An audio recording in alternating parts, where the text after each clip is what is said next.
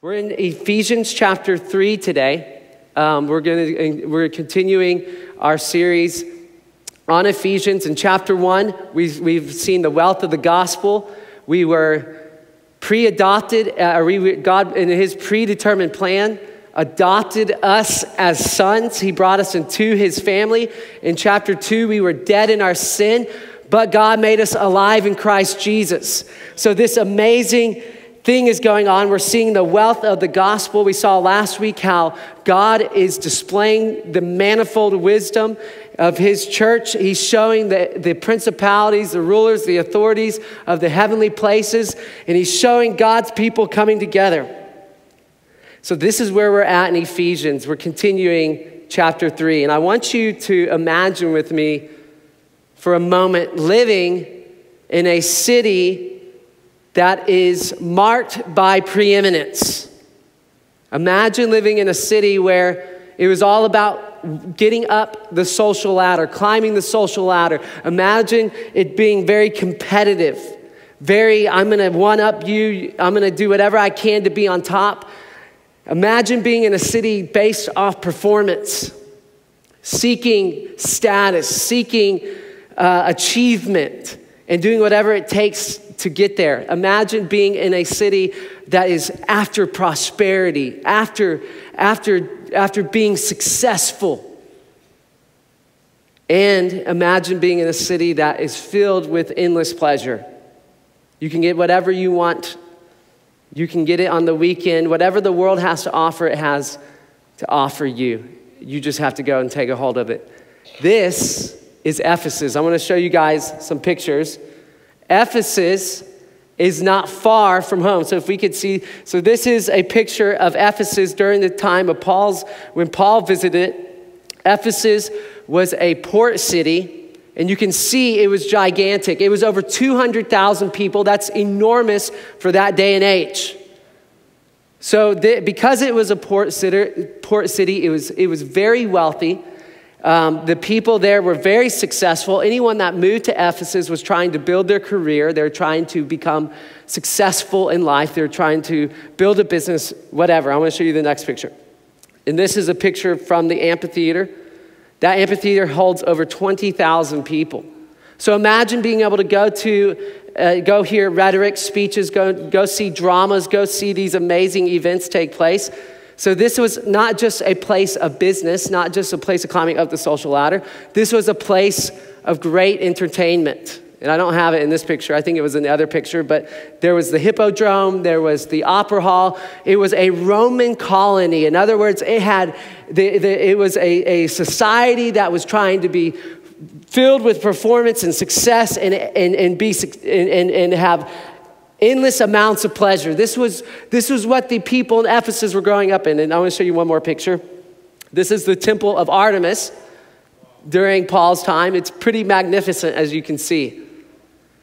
This Artemis, the, the goddess of love, the goddess of sex, it says in some historians, ancient historians, that there would be a thousand prostitutes at a time standing outside of this temple, the temple of the goddess of love. So there was endless amounts of opportunity for pleasure, worldly pleasure. This was one of the seven wonders of the world. So people from all around the world, this was in between Asia and the Mediterranean. So people from all around the world came here to not just find a career, but to find what they hoped would be their satisfaction, their pleasure, this is where they were coming. This is Ephesus. And I want you to see something here today that this is not far from home, is it?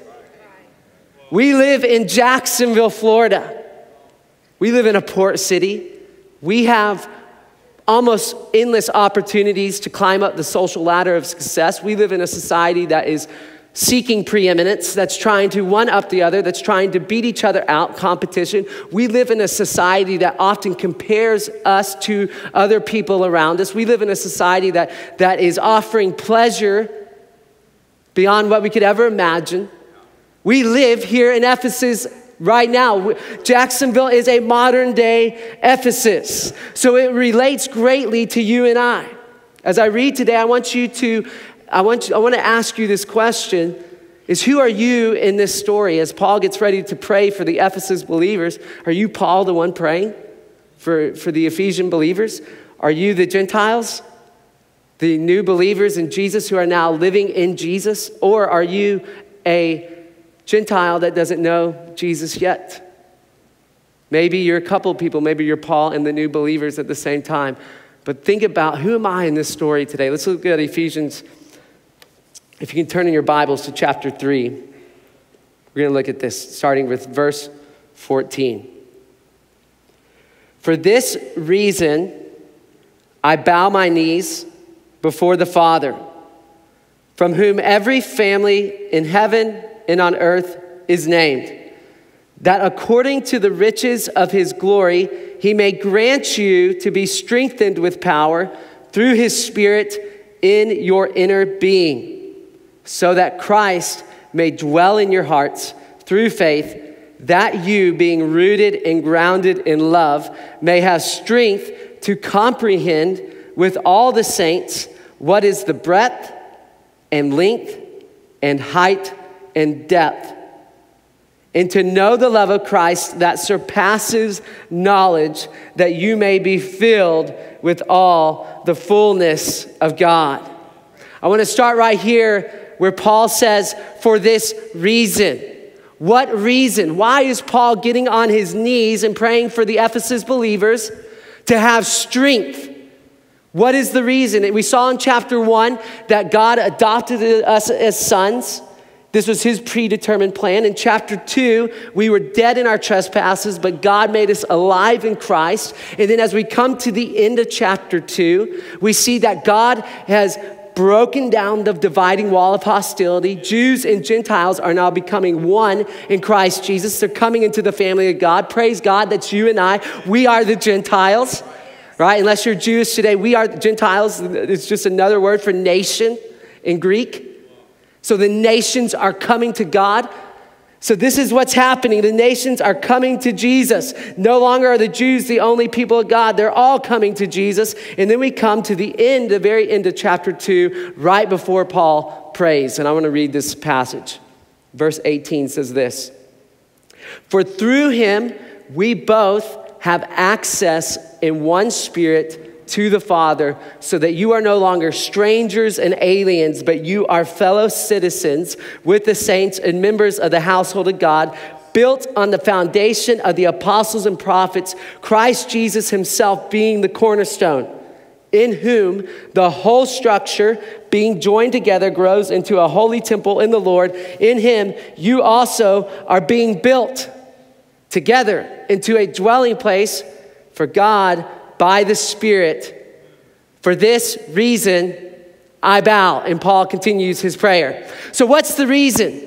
He's seen, Paul is, he's seen the wealth of the gospel. He's seen these people come to Jesus, and now he has this amazing vision. He starts to see these stones being shaped, these, these stones being formed, and it starts to build walls, and it builds a wall over here and a wall over here. And what happens is, is Paul, in this vision, has, he sees the church of Jesus, this amazing church, these living stones being built, you and I. That's exactly what's going on right here. And for this reason, Paul bows.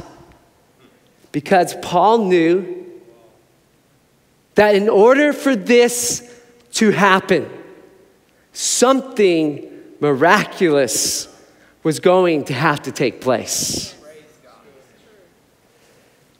I want to show you guys an illustration pulling out of my pocket an apple core. So I was eating this apple core, trying to build it for this illustration, and I accidentally ate too much. I got a little bit excited.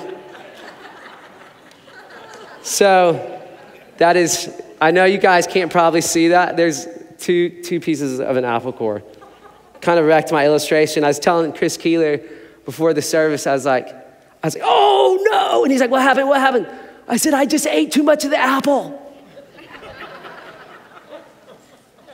so this, this is what we come to Jesus like. This is you and I. We come to Jesus like this. Before we, we have Jesus save us, we're like an apple core. We've been eaten up by sin. We've been eat, eaten up by life's worries, by life's issues, all the battles that we face. And we come to God and we're like, man, I'm dead. I have no value. I'm empty. I'm purposeless. I, I, I'm, I'm, I'm gone. This is us before Jesus. But when Jesus makes us a new creation, there's an apple seed in here. Jesus goes, I'm making you, you guys cannot see this, so this illustration is probably not good. I promise you I'm holding something. It doesn't matter if I am or not, right? I'm holding something right now. You just have to have faith and believe. Who has faith this morning? Who's a follower of Jesus today? Come on. Believe in the apple seed. Come on. So we have this seed, and God says, I'm making you a new creation. And we come to God and we go, God's made me a new creation, but how in the world is God going to use that? How in the world? I, I, have too bad of a history. I have too much failure. I have too much damage. This is how we come to Jesus. There is a lot of work that needs to happen in order for us to become the manifold wisdom of God, like God is, like Paul talked about last week, the manifold wisdom of God that displays how amazing Jesus is and shocks the enemy by the way we live our lives. It takes a lot of work. So Paul's going, it's going to take a miracle. It's going to take a miracle.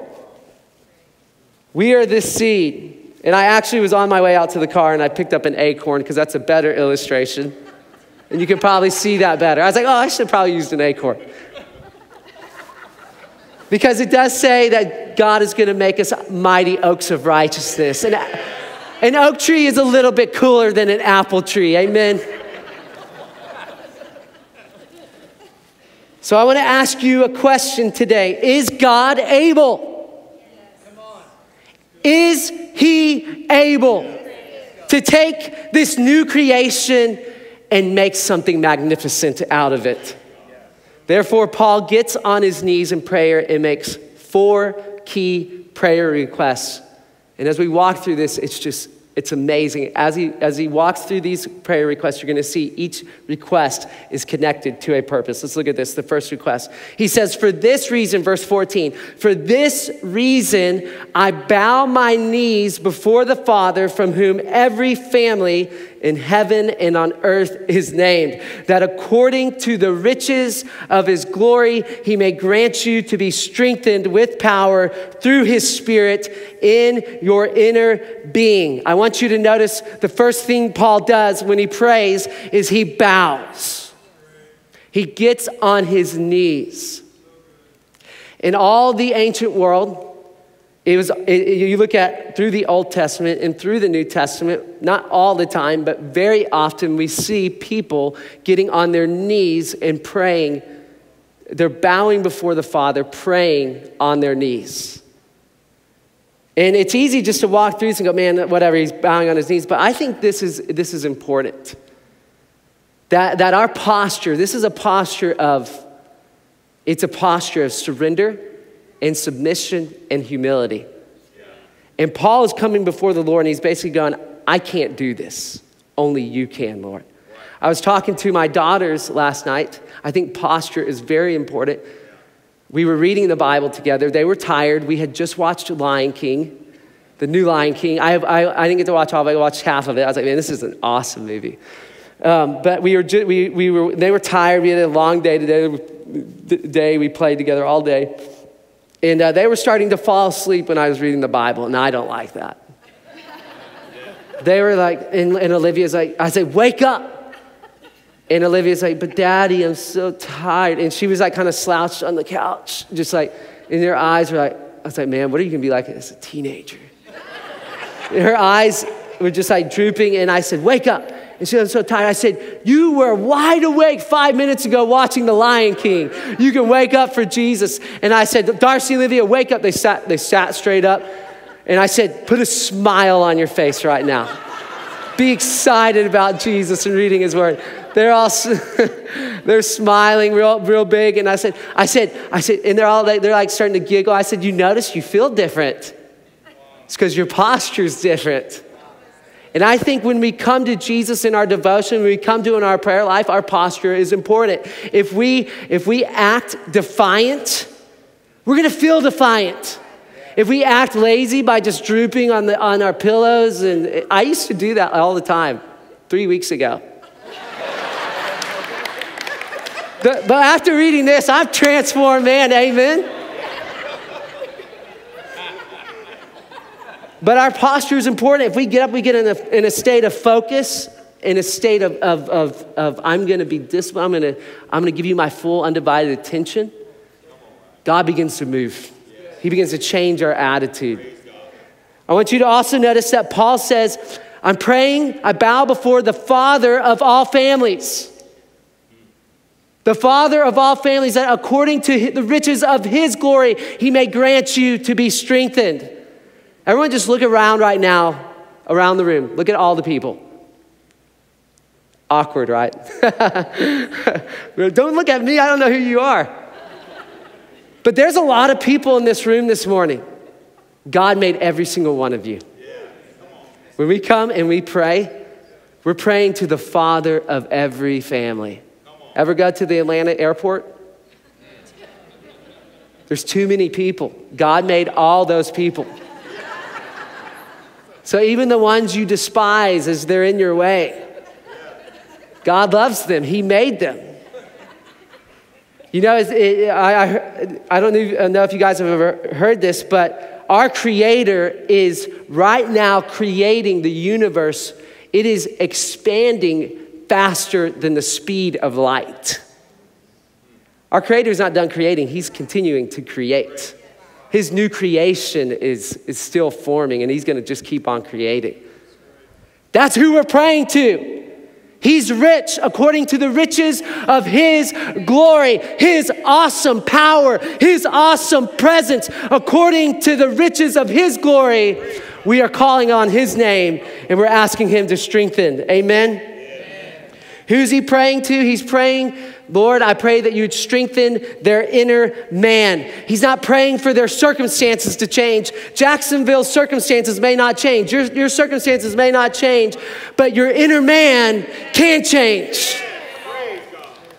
And if your inner man changes, it doesn't matter what happens to your outward circumstances. And this power, Paul says, comes through his Holy Spirit.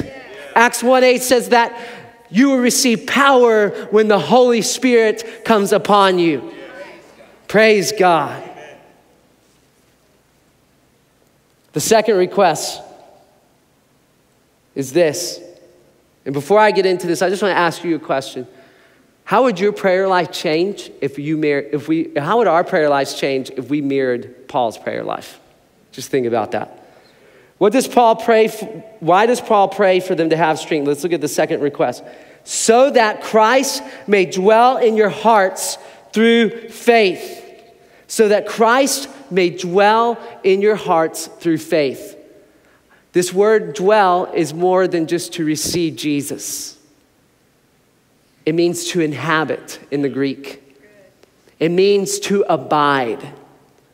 So when Paul says, I pray that you'd be strengthened so that Christ may dwell in you, he's saying, I pray that Christ would become active in your life. That just as John says in John 15, he says, Jesus said, I am the vine and you are the what? The branches. I'm the vine, you are the branches. Abide in me and I in you, and you will bear much fruit.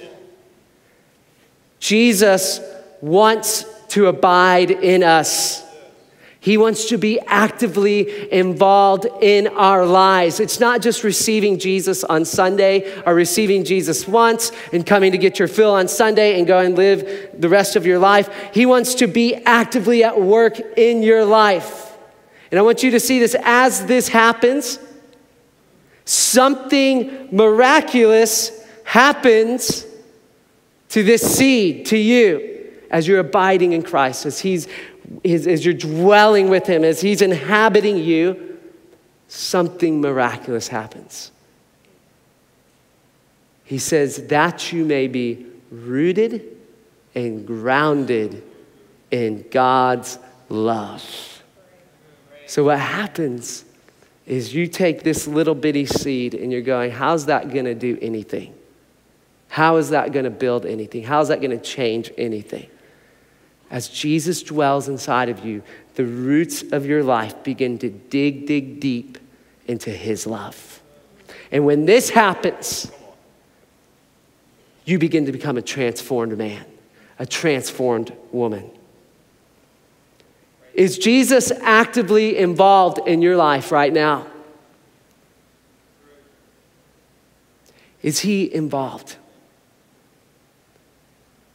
Do you see his presence at work in your life in this moment? Are you rooted? Are you grounded in his love? Let's look at the third request. Why does Paul want the Ephesians to have Christ abiding in their life?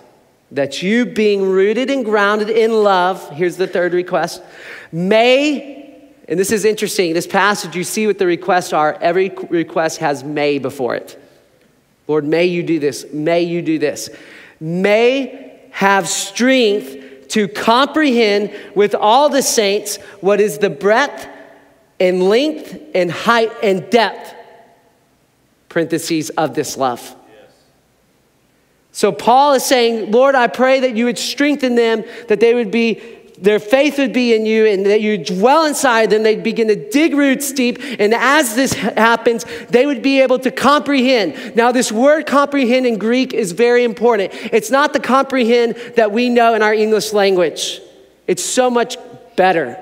It means to take hold of, it means to grasp firmly. It means to overtake. Therefore, you can see why Paul is praying that they would be strengthened. This love isn't something they just receive by doing anything. This love only comes through the power of the Holy Spirit coming into your life and giving you the strength to actually take hold of it. In other words, I'm taking hold of all of God's love. I'm grabbing hold of all of He is, all of who He is. I'm firmly holding on to His love. That's what Paul is after. And what did Paul want the Ephesians to take hold of? He says that they may take hold of the breadth, the length, the height, and the depth of God's love. Yes. Is this just saying like the limitless level of God's love? I think it's so much bigger. This is not throwaway language. We're not just saying like God's love with just every part of it. No, it's so much deeper than that. First of all, the breadth of God's love. When I did a word study, study on this word, the only other time it's used is in the book of Revelation. In Revelation 21, and it talks about the New Jerusalem. It says that God is going to come, heaven and earth are going to become one. And God is going to build a new Jerusalem. It's going to be hundreds of thousands of miles wide, hundreds of thousands of miles long. It's going to be absolutely enormous. In other words, God's presence, His love is going to cover the earth. So when it talks about it in Revelation, the breadth of God's love, it's literally covering the earth. It's God's all encompassing love. Why is this so important? To the people of Ephesus. Think about it. They were living in a preeminent, trying to one up the other, trying to compare yourself to each other, trying to fight up to the top of the social ladder. God's love is all encompassing. God's love loves the Jew just as much as the Gentile, and the Gentile as much as the Jew. He loves the rich as much as he does the poor. He loves the athlete as much as he does the non athlete. He loves the successful as much as the non successful. Do you get what Paul is saying here? God's love is not based on your performance. God's love is not based on how well you can climb up the social ladder, at how rich you are, at how charismatic you are, at how successful you are. God loves you just as much as He loves Him, and He loves Him just as much as He loves you. Now, I want you to think about this. Is there, think about the person that has hurt you the most. Think about the person that you despise the most. Think about the person. Just take a moment.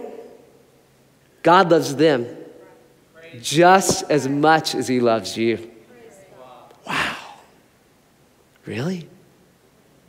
God loves you or them just as much as He loves you? So, this is the breath of God's love. I was in Nashville, Tennessee this past week, and I experienced the breath of God's love we were in a, we were in a classroom of pastors. We were at a preaching conference, and, And it was very stressful. We had to get, everyone was so funny. We were, at first, we were so stressed out because we're preaching in front of professionals. And they, they, what we were doing is they were critiquing you and showing you where you were, where you needed, where, where it could help improve your messages and stuff. And I got up as the first one to speak, and, and it, I was a little bit nervous. And, and, but as I was going, I just, everyone's like, Amen. That's good. That's so good. I felt so much love because there was, it was just overwhelming. The breath of God's love in that building, in that room. None, but by the time we got done, it, we were so filled with joy. We were so filled with excitement. Every person in the room, I said, guys, this is amazing. We can't lose in this kind of environment. Imagine if we lived with the breath of God's love. There'd be no fear of failure, there'd be no jealousy, there'd be no comparison. We would just be relaxed in each other's presence. I mean, even when I get up here on stage, it would be, I would be fearless, even though I'm not fearless, right? Like, this is scary being up here. But imagine if we live with that kind of breath of God's love, the length of God's love. How far God's love goes to reach us. This is also in the New Jerusalem. God's love goes after the lost sheep.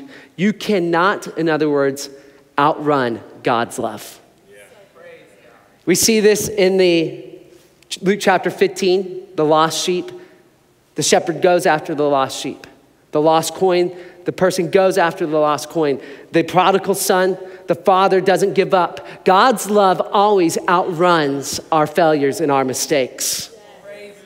God's love doesn't grow tired or weary. God's love just keeps on. You cannot outrun God's love. Can you imagine if we took hold of the length of God's love? What it would do to our lives, what it would do to our neighbors, our coworkers, our friends, our family members. God's love doesn't give up. The height of God's love. This is the next part Paul wants him to take hold of. The height, the endless supply of God's love. This is also, you see this in the New Jerusalem as well. It's, the, it's God's love. It's just, it's, you think about this, it's, there's an endless supply of it. Our sin and our failures cannot outsupply, all of our mistakes can't outsupply God's love. God's love is patient. It bears with one another. It, it, it, it, it, keeps on giving and giving and giving. Imagine if we took hold of the height of God's love, what would our relationship with our boss be like? I forgive you the 500,000th time. Imagine what our relationship with our wives would be like. I forgive you. Our siblings, our coworkers, our classmates. God's love is endless in its supply.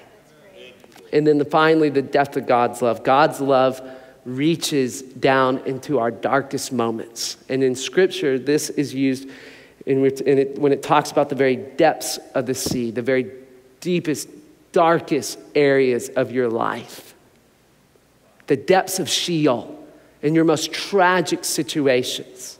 I was talking to Patrick Nealis, whose mother passed away this week, and we were on the phone yesterday, and I just sat there and, and, and just awe going, Lord, how?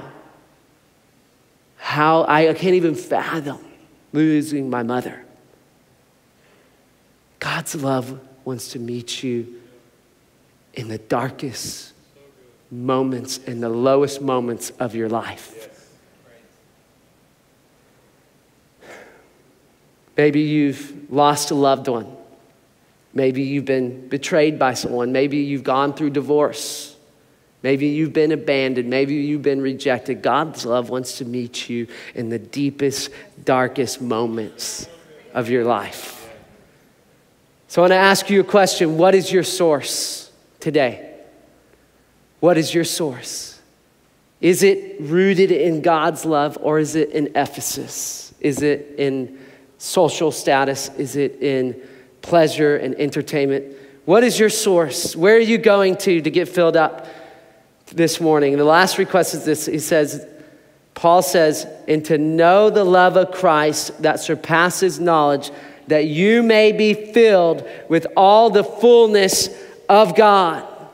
That you may be filled with all the fullness of God. I want you to notice this progression. So, Paul's gone on his knees, he's prayed for strength that they may have Jesus dwelling inside of them, that their roots would dig deep down in love and, and take hold of the depth, height, width, length of God's love, in order that they might be filled with the fullness of God.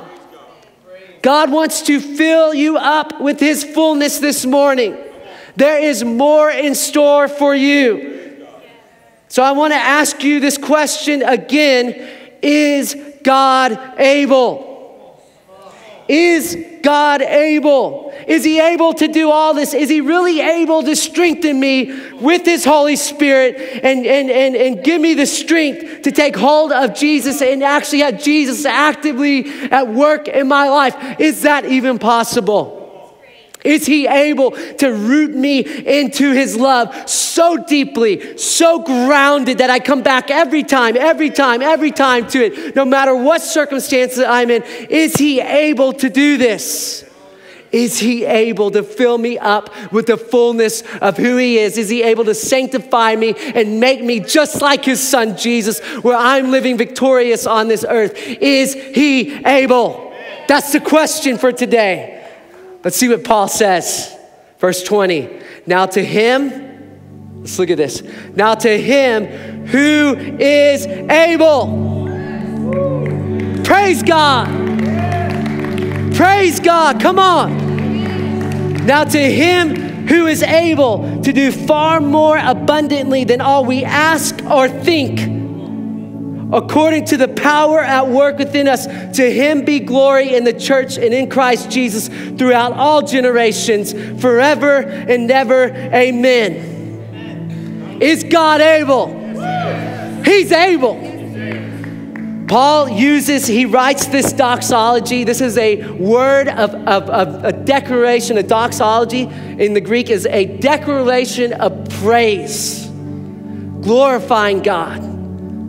Paul writes this and he says, Is he able? And he says, Yes. And I want you just to know Paul for just a second. Paul was a Pharisee that came to Jesus, he was the top of society. He was on the top of the social ladder.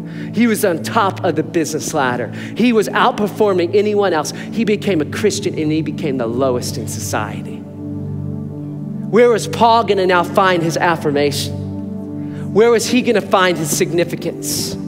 He was now the lowest in the world's eyes. Paul was not just a Christian that was the lowest in the world's eyes. It says in 1 Corinthians chapter 1 that Paul plants a church in Corinth.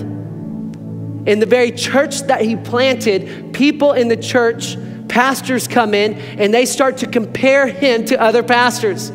I follow Paul, Apollos. I follow Peter. I follow Paul. So now there's this competition. It's, it's also a Roman colony, a very competitive, a very, I'm going to work my preeminent, working my way up the social ladder. Paul is very, seeing his very people actually starting to go, man, we'd rather have Apollos be our pastor. We'd rather have Peter be our pastor. Can you imagine what Paul felt? We see in Second Corinthians chapter 2 that Paul's, he, when he leaves Corinth and he goes to plant more churches, that a group of leaders rise up in the church and they start to undermine Paul's leadership. Basically, saying that Paul's not the man, you shouldn't follow him. And his own people start to turn their back on him. Can you imagine what Paul was going through? He was shipwrecked, he was beaten, he was imprisoned. Where did Paul find the strength? He found it because the Holy Spirit strengthened him. And Jesus was actively at work in his life, and his roots dug down deep, so deep, so grounded into God's love that nothing, he was like a mighty oak that could not be shaken. Every time Paul comes back to Jesus, Lord, I've fulfilled your assignment. Jesus looked at him and said, There's more. There's more. Lord, I built a church in Corinth. There's more. I built a church in Ephesus. There's more, Paul. I'm in, I'm in chains. I'm in Corinth and I'm waiting my imprisonment. Paul, there's more. As Paul it says in, in, in, in the book of Romans, as Paul writes to the Romans from Corinth. He wasn't in prison in Corinth. and this spoke that. Or yes, he was for a little bit. Or um, Caesarea. I'm sorry. Doesn't matter. But as Paul looked out on the horizon, he saw the Roman people in his mind, and God said, I have more. He looked to the ends of the earth. There's more for you today. God is able. God is able to use you to impact your neighborhood. He is able to, to, to break the addiction off of your life. He is able to heal your marriage. He is able to save you this morning. He is able to do the impossible. God is able to do abundantly more than all we ask or even imagine. If everyone could bow your heads. Thank you, Lord. Lord Jesus, I thank you. Heavenly Father, I thank you for these people. Lord God, some of us came into this room today and we were like an eaten up apple core. Life is just eating at us. And we're going, Lord, I'm lost. I feel dead. Need you to make me a new creation. If that's you today, no one's looking around. I just want you to raise your hand right now. If you want Jesus to come into your life today and save you and make you a new creation, just boldly raise your hand. No one is looking around.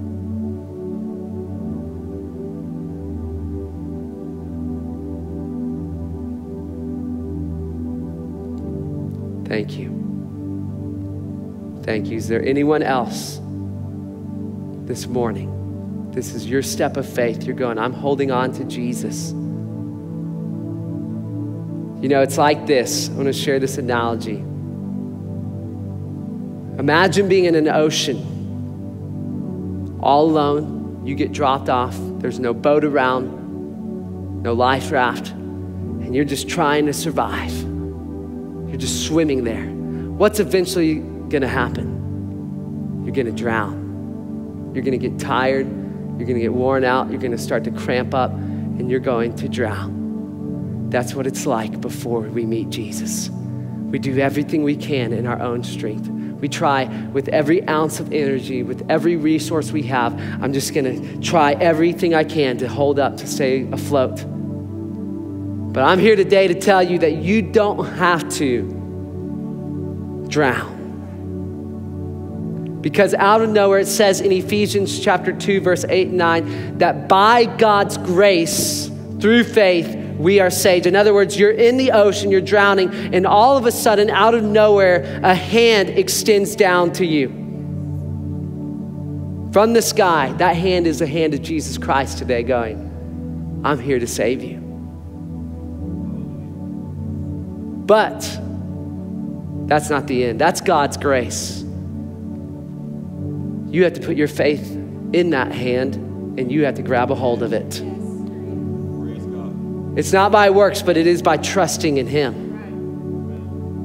So I'm going to ask you one last time is there anyone else today you're saying, I'm ready to let go of trying to do this in my own strength and grab a hold of that hand today? I want you to boldly raise your hand right now. Thank you. See your hands. Praise God. Praise God. Heavenly Father, you can lower your hands. Heavenly Father, bless these people. Holy Spirit, make your home in them now, right now. Just ask Jesus to come into your heart. Lord Jesus, save me right now. Save me right now. May I know you. I want you to, I want you to be my Lord. I want you to save me, Lord Jesus. Thank you, Lord God, that you're reaching these people right now and that you're going to make them a new creation. And there's work to be done, but it's going to be by your strength through your Holy Spirit that's going to transform us. In Jesus' name, amen. Amen. I want to give one call to action this week. Everyone, pull out your phones real quick.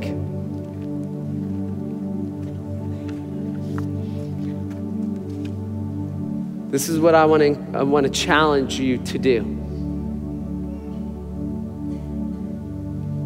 I want you to walk through Paul's prayer daily. You don't have to do this. I'm just encouraging you to do this.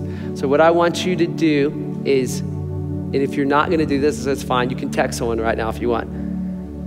But I want you to take your phone and I want you to put in your calendar right now a time when you can pray Ephesians 3:14 through 21 each day in prayer. It may be in the morning, it may be at lunchtime, it may be before you go to bed at night. But this is what I want, I want to encourage you to do. I want to encourage you to get in a posture of focus, a posture of humility. Now, a lot of us cannot get on our knees. I understand that. But getting in a chair and actually leaning forward and getting focused is better than laying on the bed. Find a place where you can be undis- undistracted. Don't do this just in the car. You can pray through the car throughout the week, but find at least one time in the day where you can get in, a, in an attitude of focus, an attitude of submission and surrender, and actually start praying through this prayer. Because I promise you, if you take this leap of faith, if you take this, not even leap, this step of faith, that God's going to begin to strengthen not only you, but the people around you. He's going to work something miraculous. So I want you to do this. I want you, I want, I want to encourage you to start off with your family. Pray for your wife, pray for your husband, pray for your children, pray for your mom and dad, pray for your siblings. Start there and start growing outwards. Then start praying for your life groups, praying for the men in your group, just going through this prayer daily. Watch what happens as you do this. Amen.